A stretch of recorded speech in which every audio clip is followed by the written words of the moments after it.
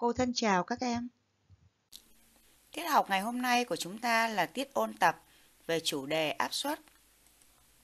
Bao gồm 3 bài. Bài 7 áp suất. Đó chính là áp suất chất rắn. Bài 8 áp suất chất lỏng, bình thông nhau, máy thủy lực. Bài 9 áp suất khí quyển.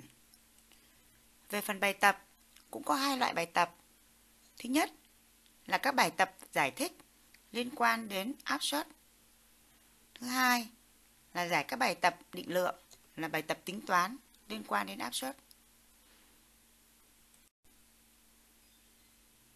Bây giờ, phần 1 lâm mã, cô sẽ ôn tập cho các em về lý thuyết. Các em chú ý, cô đã ôn tập kỹ lý thuyết bài 7, bài 8, bài 9 trong tiết học ngày hôm nay. Vì vậy, đến tiết học ôn tập để chúng ta chuẩn bị thi học kỳ 1, cô sẽ không nhắc lại phần lý thuyết của bài 7, bài 8, bài 9 nữa. Bài 7 giới thiệu khái niệm về áp suất. Áp suất chính là độ lớn của áp lực trên một đơn vị diện tích bị ép. Công thức tính áp suất P sẽ bằng F chia cho S.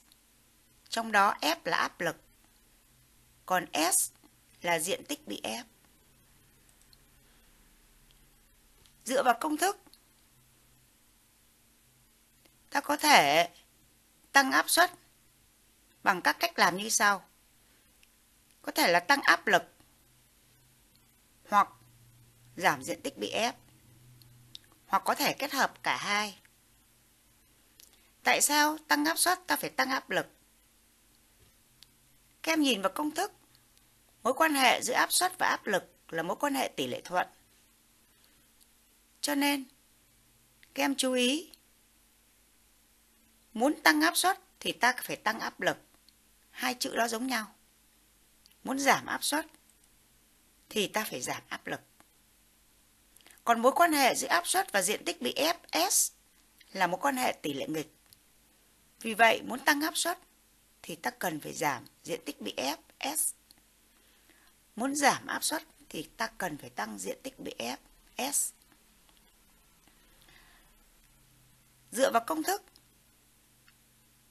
có thể tính được hai đại lượng liên quan tới nó, đó là áp lực và diện tích bị ép. Áp lực F sẽ bằng tích chéo lấy áp suất P nhân diện tích bị ép S hoặc diện tích bị ép S sẽ bằng áp lực F chia cho áp suất P. Sang bài 8 về áp suất chất lỏng. Thì chất lỏng gây ra áp suất nó khác với chất rắn. Chất lỏng gây ra áp suất theo mọi phương, lên đáy bình, lên thành bình và mọi vật ở trong lòng nó. Công thức tính áp suất chất lỏng P bằng D nhân H.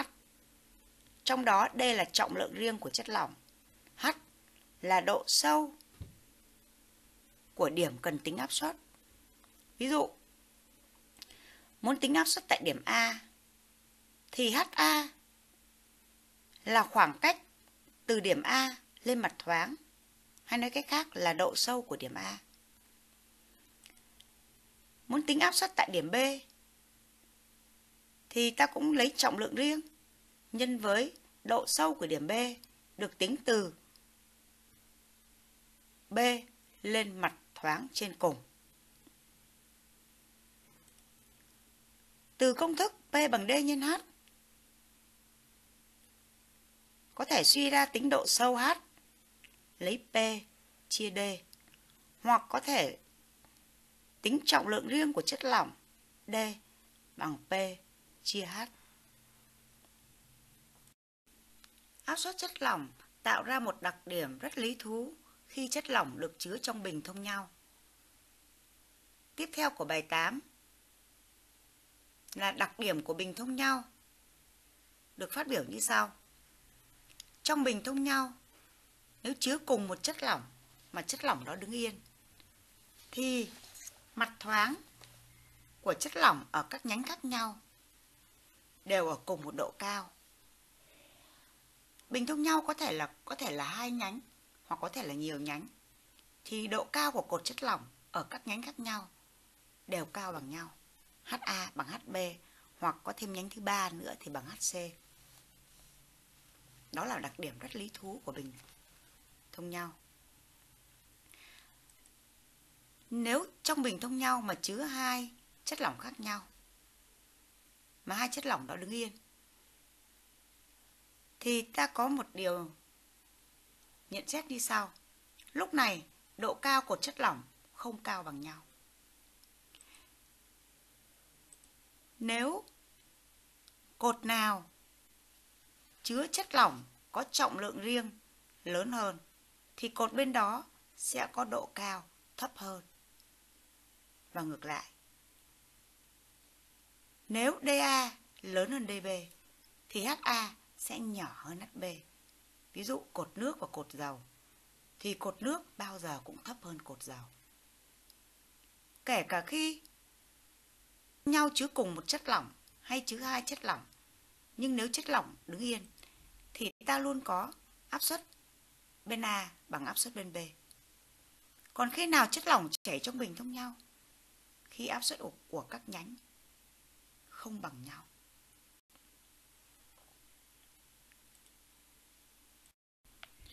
Một ứng dụng quan trọng của áp suất chất lỏng trong công nghệ và cuộc sống đó là máy thủy lực. Máy thủy lực hoạt động dựa trên nguyên lý Pascal. Đó là chất lỏng truyền độ tăng của áp suất đi nguyên vẹn đến mọi nơi trong lòng chất lỏng.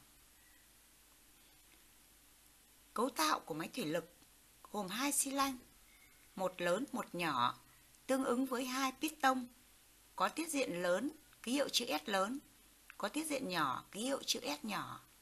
Công thức của máy thủy lực đó là F lớn chia cho F nhỏ bằng S lớn chia cho S nhỏ. Từ công thức của máy thủy lực cho ta biết điều gì? Cho ta biết nếu diện tích của piston lớn lớn hơn diện tích của piston nhỏ bao nhiêu lần?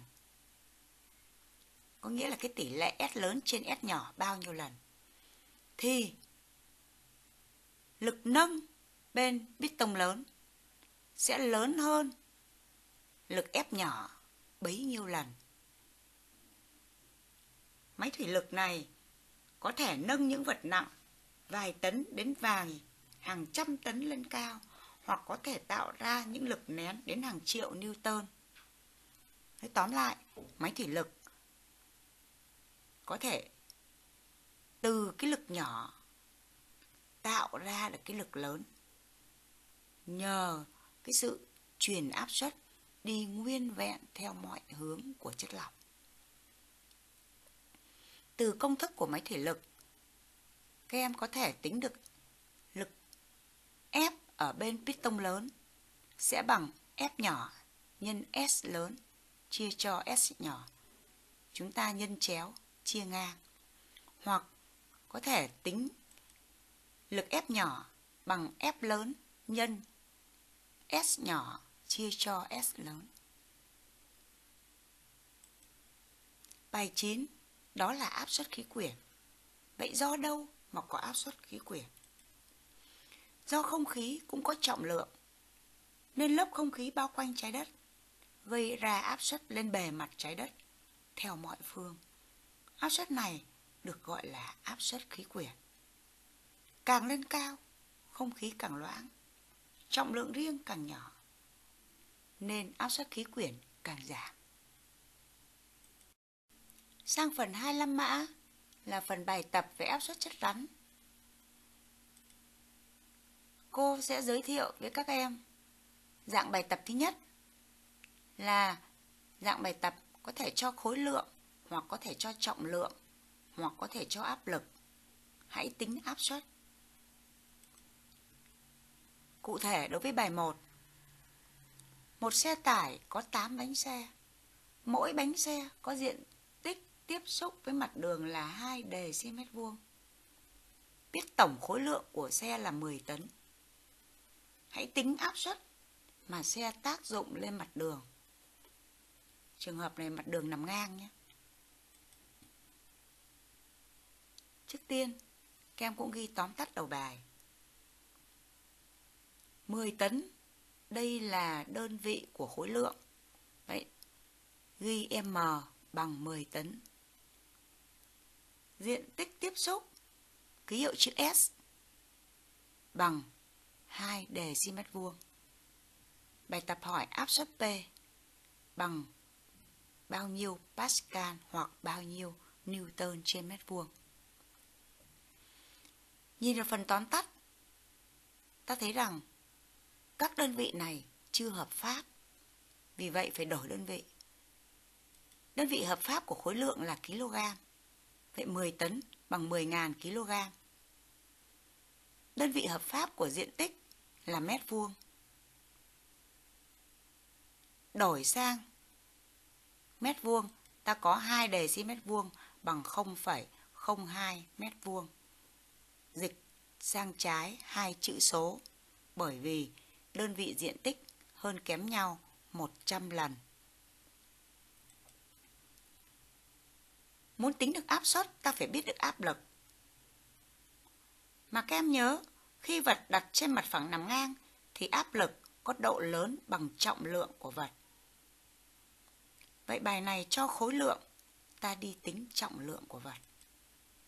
Trọng lượng của xe. Áp dụng công thức P bằng 10 nhân M. Ta lấy 10 nhân 10 ngàn bằng 100 ngàn Newton. Tính được trọng lượng của xe rồi.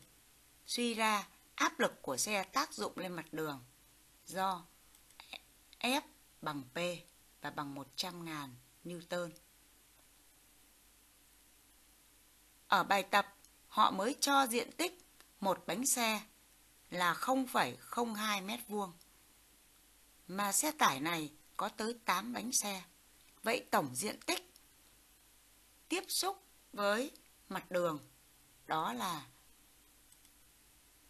8 nhân 0,02 sẽ bằng 0,16 mét vuông. Sau khi đã tìm được áp lực và diện tích bị ép, ta áp dụng công thức để tính áp suất của xe tác dụng lên mặt đường.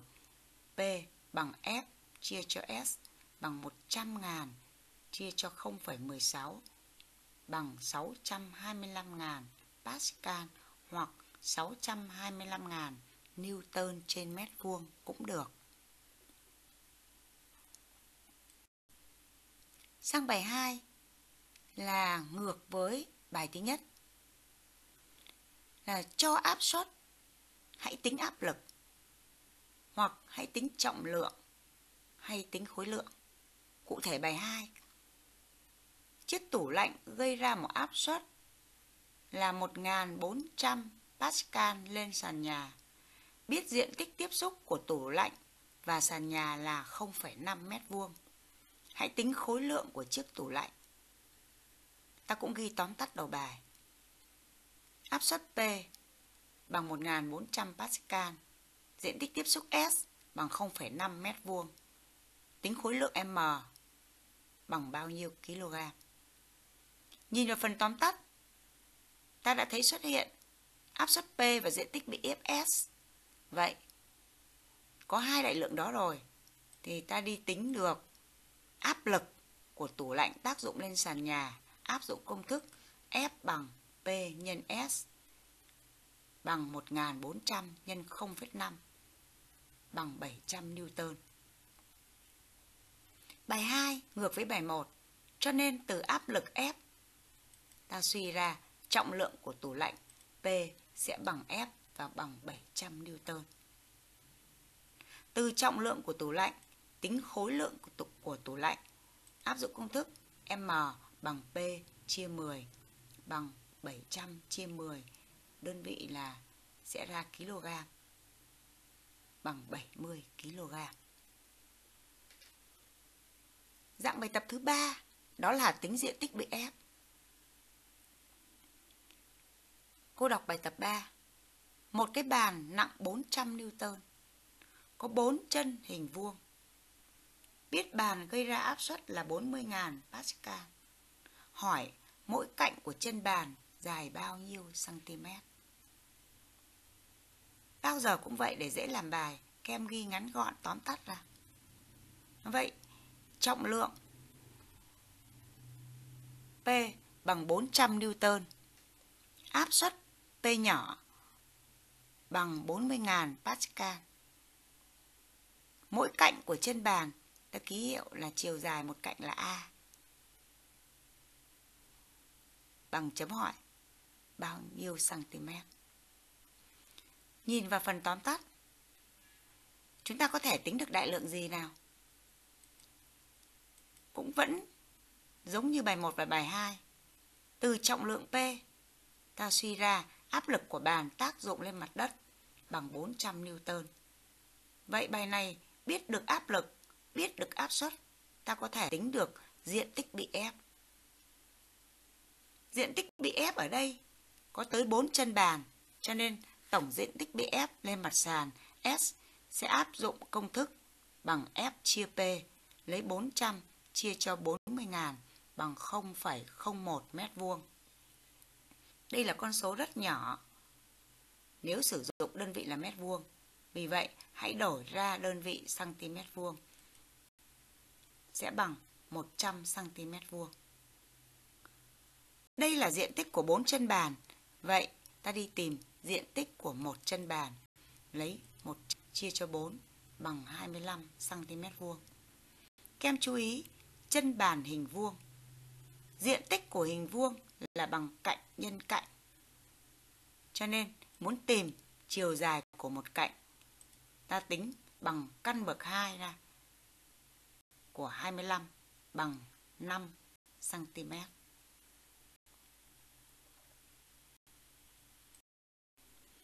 Tiếp theo, cô đi sửa bài tập 2. Cô đã cho các em làm trong tuần 11. Cô đọc lại bài 2.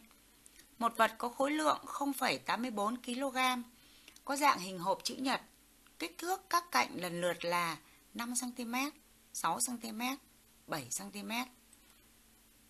Các em có thể hiểu như sau. Ta đặt một cạnh là A có chiều dài là 5 cm thì cạnh khác là B có chiều dài là 6 cm, cạnh còn lại là C có chiều dài là 7 cm. Quan sát các hình vẽ. Các em hiểu là lần lượt đặt ba mặt của vật này lên mặt sàn nằm ngang. Ba trường hợp này là khác nhau. Hãy tính áp lực và áp suất mà vật tác dụng lên mặt sàn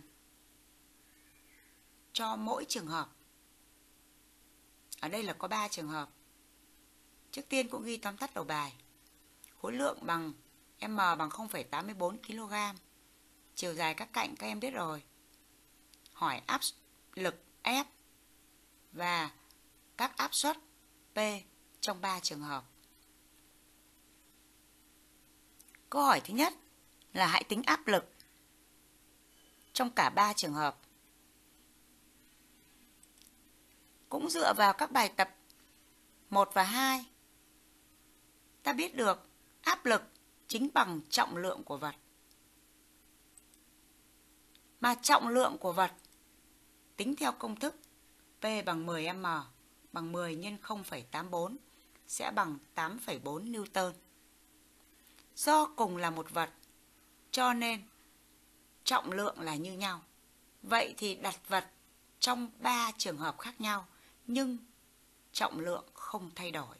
Vì vậy, áp lực tác dụng lên mặt sàn nằm ngang trong cả ba trường hợp đều bằng nhau và bằng 8,4 Newton.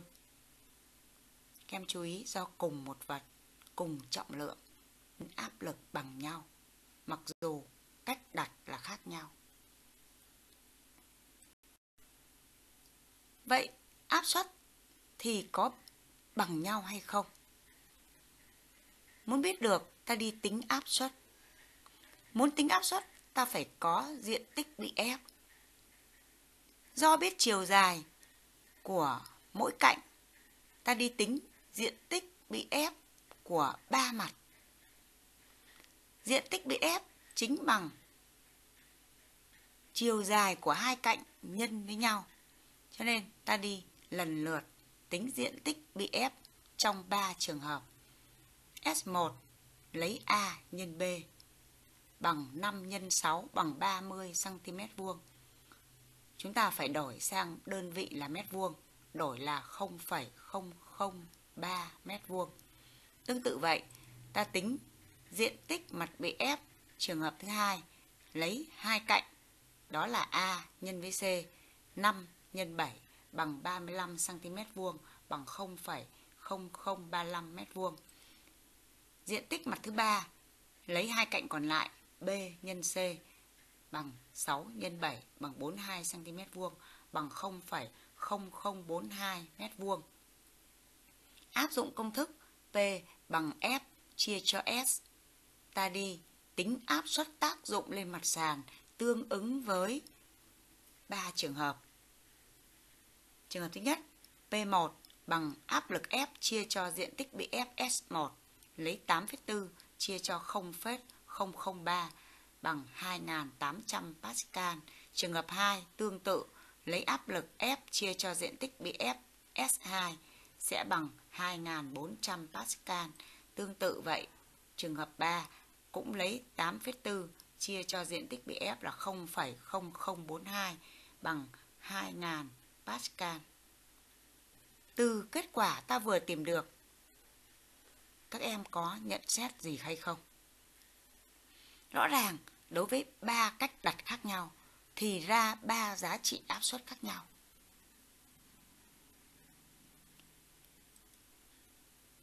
Ta có nhận xét thứ nhất, diện tích bị ép mà càng lớn thì áp suất càng nhỏ. Rõ ràng, nhìn vào diện tích bị ép là S3 bằng 0,0042 mét vuông, lớn hơn hai diện tích còn lại. Nhưng ra áp suất P3 lại bé hơn 2 áp suất P1 và P2. Hoặc ta có thể nhận xét tiếp theo là diện tích bị ép càng nhỏ đối với trường hợp là S1 thì lại gây ra áp suất là P1 là lớn nhất. Từ ví dụ này, các em rút ra nhận xét gì? Mối quan hệ giữa áp suất và diện tích bị ép. Cô đã nói ngay từ phần lý thuyết, mối quan hệ giữa diện áp suất và diện tích bị ép là mối quan hệ tỷ lệ nghịch. Diện tích bị ép càng lớn thì áp suất càng nhỏ. Diện tích bị ép càng nhỏ thì áp suất càng lớn. Từ nhận xét trên, các em có thể trả lời câu 19 trong file ôn tập học kỳ 1 cô mới gửi cho các em. Câu hỏi 19. Khi ta đi và khi ta đứng, áp suất lên mặt đất có khác nhau không? Hãy giải thích. Thì chúng ta biết rồi, khi ta đi và khi ta đứng thì áp lực lên mặt đất là như nhau do trọng lượng của người mình không thay đổi. Nhưng khi ta đi thì chỉ có một bàn chân tiếp xúc với mặt đất, chân còn lại nhấc lên khỏi mặt đất. Vì vậy nên diện tích bị ép nhỏ hơn khi ta đứng bằng hai chân. Ta đứng ta thường đứng bằng hai chân và diện tích bị ép sẽ là diện tích hai bàn chân tiếp xúc với mặt đất. Vì vậy, áp suất khi đi sẽ lớn hơn áp suất khi đứng. Phần 3 La Mã, chúng ta sẽ đi làm bài tập về áp suất của chất lỏng. Bài 1, cô đã cho các em ở tuần 11. Có hai bình A và B cùng chứa nước ở cùng một độ cao H. So sánh áp lực và áp suất tác dụng lên đáy bình A và đáy bình B. Các em quan sát hình vẽ. Ta nhận thấy những điều như sau. Bình A và bình B, cùng chứa nước, có nghĩa là trọng lượng riêng, D là như nhau. Độ cao cột nước ở trong hai bình H là bằng nhau. Nhưng tiết diện, hay nói cách khác là diện tích đáy của bình A, lớn hơn diện tích đáy của bình B. Nhìn đã thấy bình A chứa nhiều nước hơn bình B. Mà chứa nhiều nước hơn bình B có nghĩa là trọng lượng của lượng nước ở bình A lớn hơn trọng lượng của lượng nước ở bình B. Trọng lượng lớn hơn thì gây ra áp lực lớn hơn bởi vì hai bình này đều được đặt trên mặt phẳng nằm ngang. Vậy, áp lực trong cả hai trường hợp này ta so sánh như sau. Bình A có tiết diện lớn hơn, đựng nhiều nước hơn, trọng lượng nước lớn hơn, P1 lớn hơn P2, mà F lại bằng P nên gây ra áp lực lớn hơn, F1 lớn hơn F2. Tiếp theo, ta đi so sánh về áp suất. Cô đã nói rồi, chứa cùng một chất lỏng, đó là nước. Vì vậy, trọng lượng riêng D là như nhau. Lại cùng một độ cao H nữa. Vậy áp suất sẽ bằng nhau. Lý do công thức tính áp suất P bằng D nhân H mà cả hai đại lượng D và H đều giống nhau, đều bằng nhau nên áp suất tác dụng lên đáy bình A và đáy bình B là như nhau. Vậy các em thấy áp suất chất lỏng rất khác với áp suất chất rắn.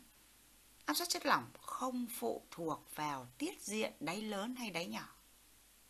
Không phụ thuộc vào lượng nước nhiều hay ít mà chỉ phụ thuộc vào trọng lượng riêng của chất lỏng và độ cao cột chất lỏng. Sang phần bài tập tính toán về áp suất chất lỏng, cô cho các em một bài tập sau đây. Một bình thủy tinh cao 1,5 mét được chứa đầy nước. Cho trọng lượng riêng của nước D bằng 10.000 Newton trên mét khối. Câu A.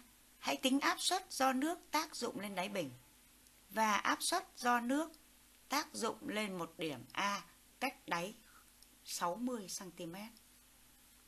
Câu B. Người ta đổ 1 phần 3 lượng nước trong bình đi và thay thế bằng dầu.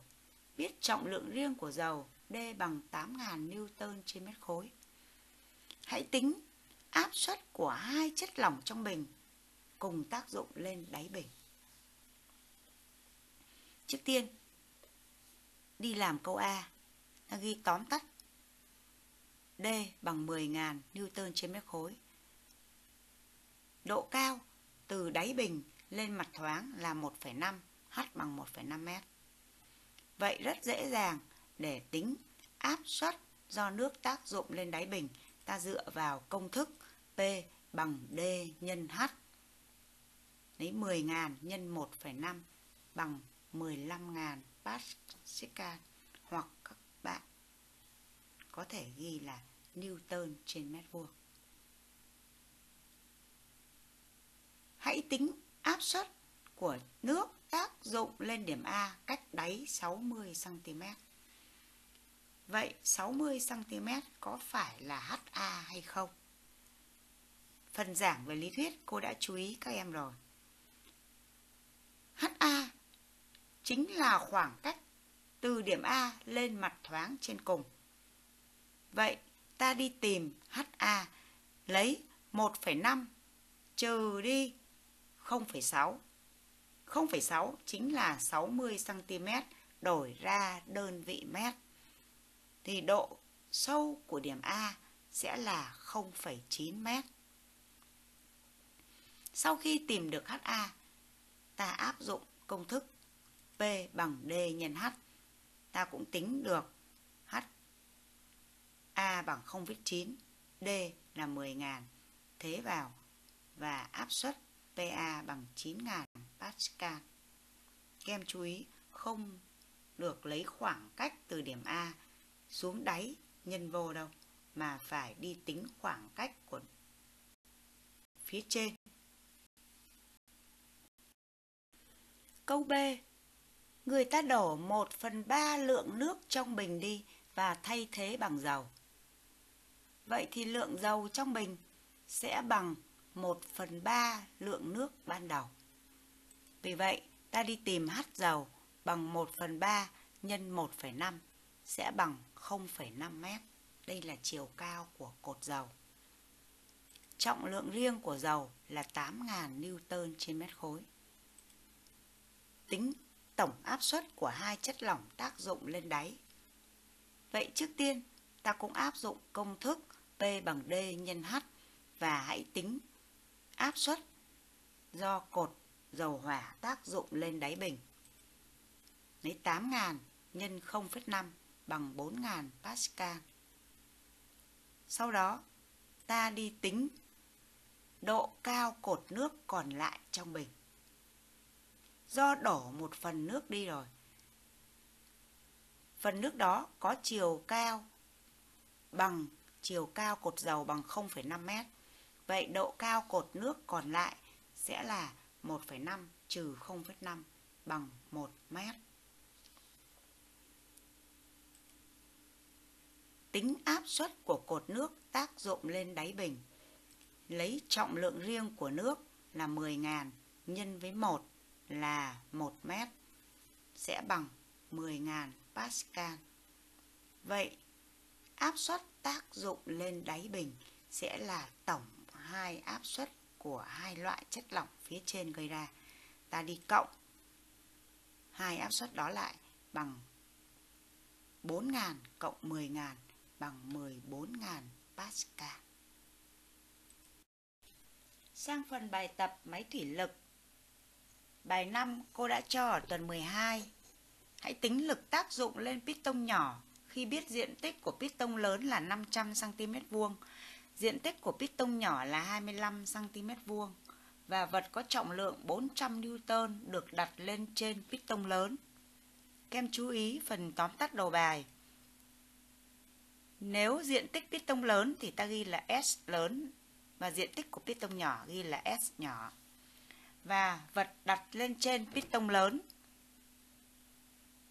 chính là áp lực F, ghi chữ F lớn, bằng P và bằng 400 Newton. Bài hỏi F nhỏ ta áp dụng công thức của máy thủy lực đó là F lớn chia cho F nhỏ bằng S lớn chia cho S nhỏ. Thế số ta có 400 chia cho F nhỏ bằng 500 chia cho 25. Các em không cần đổi đơn vị sang đơn vị mét vuông bởi vì đây là tỷ lệ, ta chỉ cần cùng đơn vị là được. Từ đó rút ra F nhỏ sẽ bằng tích chéo lấy 400 nhân 25 chia cho 500 và bằng 20 Newton. Phần bài tập máy thủy lực, các em chỉ cần viết đúng vào bên lớn và bên nhỏ thì các em tính được dễ dàng. Bài tập về áp suất khí quyển có câu 21 trong file ôn tập học kỳ 1. Khi máy bay cất cánh hoặc hạ cánh thì có một số hành khách có cảm giác bị ù tai hoặc đau nhức trong tai.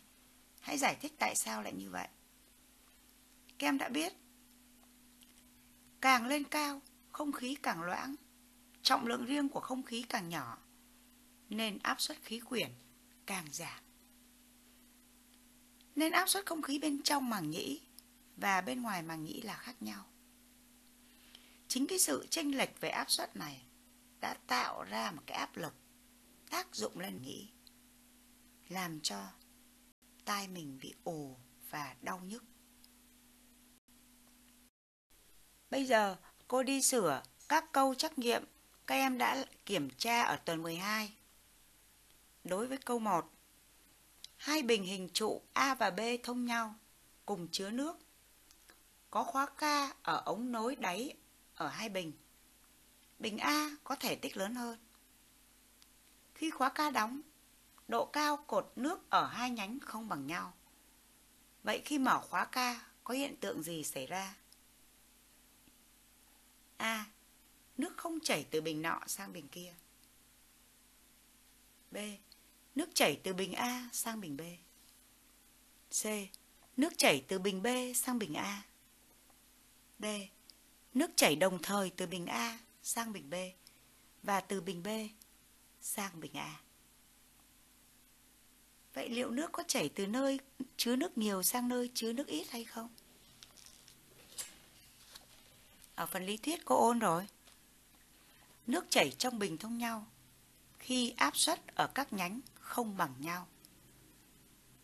Ta đi xem. Hai bình này đều chứa nước. Vậy cùng trọng lượng riêng D như nhau.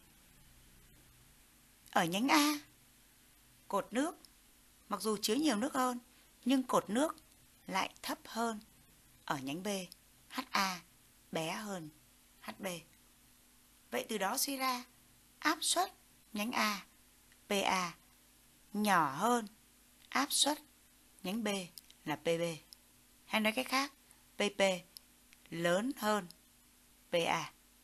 Vậy nước sẽ chảy từ nơi áp suất cao về nơi áp suất thấp.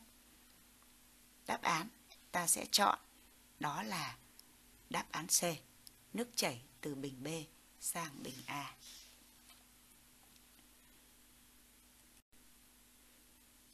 Câu 2. Hai bình A và bình B cũng thông nhau. Bình A chứa dầu, bình B chứa nước tới cùng một độ cao. H dầu cao bằng H nước. Biết trọng lượng riêng của nước D nước bằng 10.000 Newton trên mét khối. Trọng lượng riêng của dầu D dầu bằng 8.000 Newton trên mét khối. Hỏi sau khi mở khóa K ở ống nối, nước và dầu có chảy sang nhau hay không? Câu A. Không, vì chất lỏng ở hai bình cao bằng nhau. B. Dầu chảy sang nước vì dầu nhẹ hơn nước. C. Dầu chảy sang nước vì bình A chứa nhiều dầu hơn. Câu D.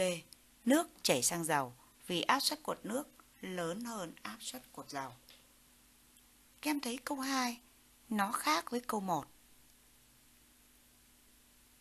Câu 1 là hai nhánh đều chứa cùng một loại chất lỏng. Câu 2, hai nhánh chứa hai chất lỏng khác nhau. Bây giờ ta tìm xem nếu áp suất khác nhau thì có hiện tượng chất lỏng chảy qua nhau. Nếu áp suất bằng nhau thì chất lỏng không chảy qua nhau. Ta đi phân tích. Bình A là dầu chứa nhiều hơn bình B. Nhưng cột dầu lại cao bằng cột nước theo như đầu bài cho. Mà D nước lại lớn hơn D dầu. Áp dụng công thức P bằng D nhân H. Vậy thì áp suất cột nước sẽ lớn hơn áp suất cột dầu. Vì vậy, đáp án của chúng ta sẽ là câu D. Nước sẽ chảy sang rào vì áp suất cột nước lớn hơn áp suất cột rào. Câu 3 Có 4 bình 1, 2, 3, 4 cùng đựng nước như hình vẽ. So sánh áp suất tác dụng lên đáy bình thì câu nói nào sau đây là đúng? Ta thấy bốn bình nước này có hình dạng khác nhau, chứa các lượng nước cũng khác nhau luôn. Vậy làm thế nào ta so sánh được áp suất tác dụng lên đáy bình? Để so sánh áp suất thì ta cũng phải dựa vào công thức tính áp suất P bằng D nhân H. Ở đây, bốn bình cùng chứa nước thì trọng lượng riêng D như nhau. Vậy ta chỉ cần so sánh chiều cao H nữa thôi. Nhìn vào hình vẽ, ta thấy H1 lớn hơn H2, lớn hơn H3 và lớn hơn H4. Vậy từ đó suy ra P1 lớn hơn P2, lớn hơn P3 và lớn hơn P4. Đáp án ta chọn sẽ là đáp án A. Câu tiếp theo. Câu 4. Ba bình có hình dạng khác nhau cùng chứa dầu như hình vẽ. So sánh áp suất tại các điểm A, B, C. Biết rằng khoảng cách từ các điểm này tới mặt thoáng là bằng nhau. Có nghĩa là HA bằng HB bằng HC. cũng so sánh áp suất thì ta sẽ chọn câu nào? Tương tự phân tích như câu 3. Ta thấy mặc dù không phải chứa nước mà là chứa dầu, nhưng ba bình này lại chứa dầu, cho nên trọng lượng riêng D là như nhau. Ba bình này không thông với nhau, nhưng độ sâu của điểm A bằng độ sâu điểm B bằng độ sâu điểm C. Vậy H bằng nhau. Từ đó, áp suất của dầu tác dụng tại điểm A sẽ bằng áp suất tại điểm B và bằng áp suất tại điểm C. Đáp án của câu 4 sẽ là câu D. Câu 5 liên quan tới áp suất khí quyển. Hiện tượng nào sau đây do áp suất khí quyển gây ra? A. Ruột xe đạp, xe máy bơm căng để ngoài nắng có thể bị nổ. Câu B. Dùng một ống nhựa có thể hút nước từ cốc vào miệng. Câu C. Quả bóng bàn bị bẹp thả vào trong nước nóng có thể phồng lên như cũ. Câu D. Khi được bơm, ruột xe căng lên. Qua học bài áp suất khí quyển, các em đã biết. Khi dùng ống nhựa hút, ta có thể hút nước hút các chất lỏng. Ví dụ như là nước ngọt, nước chanh, nước cam. Ta hút được vào trong miệng là nhờ có sự trợ giúp của áp suất khí quyển tác dụng lên chất lỏng rồi tác dụng lên miệng ống hút và đẩy nước vào miệng mình dễ dàng hơn. Vậy đáp án sẽ là câu B. Câu 6. Khi hút bớt không khí trong một vỏ hộp đựng sữa bằng giấy, ta thấy vỏ hộp bị bẹp theo nhiều phía. Câu giải thích nào sau đây là đúng nhất? Câu A. Vì không khí bên trong hộp sữa bị co lại. Câu B. Vì áp suất không khí bên trong hộp nhỏ hơn áp suất khí quyển ở bên ngoài hộp. Câu C. Vì hộp sữa chịu áp suất của khí quyển. Câu D. Vì hộp sữa rất nhẹ. Các em đã biết, kể cả khi hộp sữa chưa hút bớt sữa ra, hộp sữa còn nguyên, thì hộp sữa vẫn chịu tác dụng của áp suất khí quyển. Nhưng ở trường hợp này hộp sữa bị bẹp, thì chứng tỏ áp suất khí quyển bên ngoài hộp tác dụng lên vỏ hộp lớn hơn áp suất không khí bên trong. Nên nó tác dụng áp lực lên vỏ hộp làm cho vỏ hộp bị bẹp về nhiều phía. Câu 6. Chọn câu 6B. Như vậy, cô đã ôn tập rất kỹ cho các em bài 7, bài 8, bài 9. Các em có thể làm thêm bài tập trong file Word ôn tập học kỳ 1 cô đã gửi. Sau tiết học này, chúng ta sẽ làm một bài kiểm tra lấy vào cột điểm thường xuyên. Nội dung nằm trong bài 7, bài 8, bài 9. Bài học của chúng ta đến đây là kết thúc. Tạm biệt các em.